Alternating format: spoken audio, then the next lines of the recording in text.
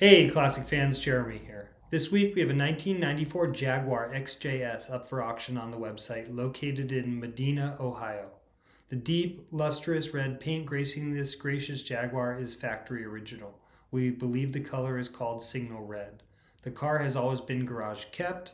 Not seen very often, our Jaguar has the optional spoiler attached to the rear deck lid. The tan top is original and will need repair or replacement in the future.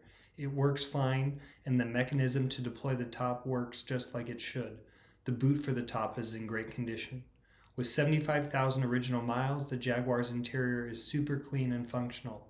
Its tan color is a wonderful complement to the signal red exterior. The driver's seat does show a little wear, but the rest of the interior is perfect.